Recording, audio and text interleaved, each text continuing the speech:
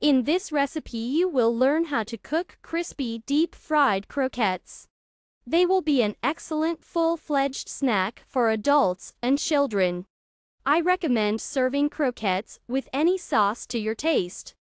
The snack is good both hot and cold. Cut the bread into slices, unpour the milk, then lightly squeeze out the excess liquid. In a blender bowl, beat cheese, ham, bread with milk, egg, pepper and salt. From the resulting mass, we form balls and roll them in breadcrumbs. Fry the croquettes in a deep fryer or in a saucepan with plenty of vegetable oil until golden brown.